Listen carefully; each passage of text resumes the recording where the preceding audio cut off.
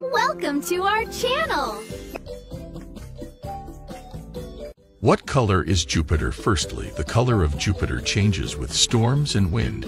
In its atmosphere, white spots indicate cool storms, brown spots indicate warm storms, and red spots indicate hot storms. Secondly, Jupiter's outer atmosphere is made up of mostly hydrogen and helium, with small amounts of other elements like water droplets, ice crystal, and ammonia crystals. When these elements form clouds, they create shades of white, orange, brown, and red. Why are some planets called terrestrial? The word terrestrial comes from the Latin word terra, which means earth. Terrestrial planets are made of rocks and metals and have a central metallic core surrounded by a mantle of silicate rocks and minerals.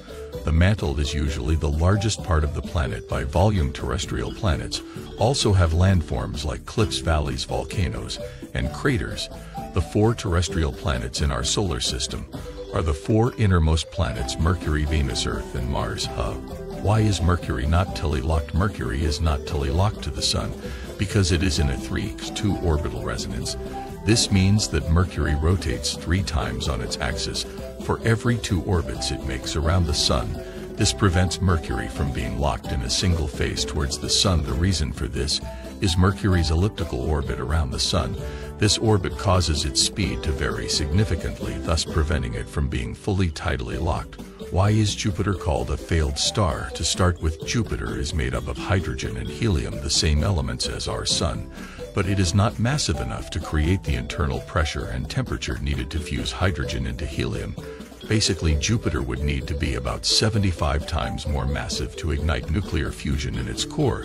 Hence, Jupiter is called a failed star, because it has the same ingredients as a star, but didn't grow massive enough to ignite. Why is Mars a dead planet? Firstly, Mars is core cooled, and solidified too quickly causing it to lose its magnetic field. Secondly, without a magnetic field, the solar wind stripped away Mars's atmosphere. Thirdly, without an atmosphere, the water on Mars's surface completely evaporated. Lastly, as most of Mars's volcanic and tectonic activity occurred over 3 billion years ago, it is considered a dead planet now. Huh? Why is Mars's atmosphere so thin? The first reason is Mars's low gravity. As a result, Mars is not able to retain gases. They easily escape into space. The second reason is the lack of a strong magnetic field. This leaves Mars' atmosphere vulnerable to the solar wind.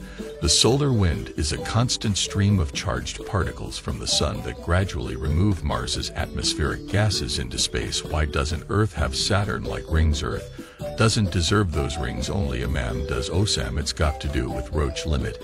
It is the distance at which objects tend to be ripped apart by the planet's gravitational pull now in case of Saturn. It is popularly believed that a celestial body like moon or comet got too close to it and exceeded the Roche limit. Hence it got ripped apart into pieces, thus forming its rings now Earth Earth also has a moon. But since it is beyond the Roche limit, it doesn't get ripped apart into pieces to form rings. Why does Saturn have rings? No big deal. Mum's rings are bigger. Oh, oh, mum! One theory suggests that Saturn's rings are remnants of celestial bodies like a moon or a comet billions of years ago. A celestial body may have got too close to Saturn. Hence, the side facing Saturn was pulled more strongly as compared to the side facing away.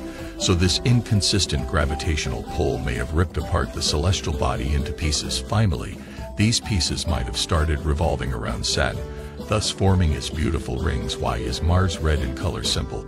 Because I painted it red. A home Mars actually has many colors on its surface. We can see many different colors like brown, gold, then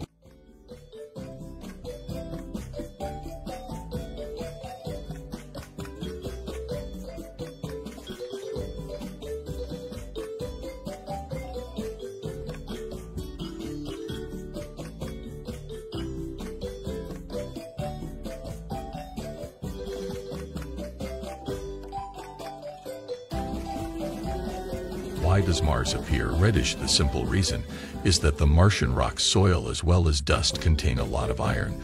This iron reacts with the atmospheric oxygen and forms iron oxide. Now the huge dust storms on Mars kick the soil as well as the dust into the atmosphere. Thus, from a distance, Mars appears red in color. What if Earth started dancing? So what Omsum is the best dancer Osum firstly, if Earth started dancing humans will not be able to stand still anymore.